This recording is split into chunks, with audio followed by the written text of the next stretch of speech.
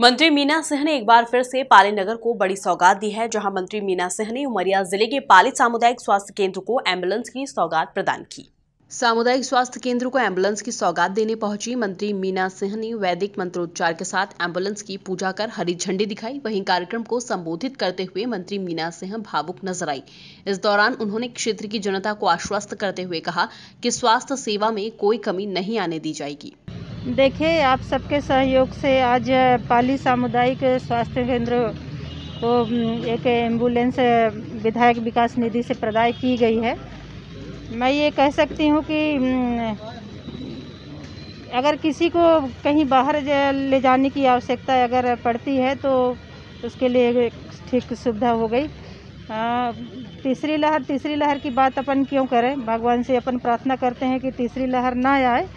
अगर कहीं खुदा ना खास्ता अगर तीसरी लहर पहुँचती भी है, अगर कुछ जैसे लोग अगर पीड़ित होते हैं तो कहीं किसी को बाहर जाना होगा तो गाड़ी बराबर सभी के काम आएगी।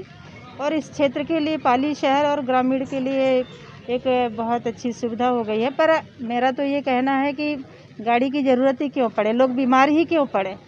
पर कहते ना कि होने को कोई नहीं जानता तो ऐसी स्थिति में लोगों के आने जाने के लिए ठीक होगा। उनको कहीं उनके चाहे शहडोल मेडिकल कॉलेज जाने की बात हो, चाहे जबलपुर जाने की बात हो तो लोग ठीक तरह से पहुँच पाएँगे और उनका इलाज अच्छे से हो सके, ऐसी प्रार्थना करते हैं। चिकित्सक पदस्थापना की लगातार मांग हो रही है। क्या कुछ प्रयास होंगे कि यहाँ ऐसी व्यवस्था हो? नहीं, मैं तो जब से इस क्षेत्र की विधायक हुई हूँ, आज सरकार में हूँ, मैं जब से लगातार प्रयास करती रहती हूँ कि पाली में सभी सुविधाएँ हो, चाहे पाली हो, मानपुर हो या हमारे ग्रामीण क्षेत्र हो आप सबको पता है कि हमारे पास वैकेंसी हैं, पर डॉक्टर फार्म ही नहीं भर रहे हैं कि हम उनकी भर्ती कर सकें और उनको हम डॉक्टर बना के अपने सामुदायिक स्वास्थ्य केंद्र में ला सकें या प्राथमिक स्वास्थ्य केंद्र में चूँकि वैकेंसी खाली जा रही है। कोई डॉक्टर ग्रामीण क्षेत्र में काम करने के लिए तैयार नहीं है। अगर पाली भी है नगर पालिका परिषद में है, भोपाल या इंदौर का कोई भी डॉक्टर यहाँ भी नहीं आना चाहता। तो वो बहुत सी दिक्कत है, पर हमारा प्रयास रहता है।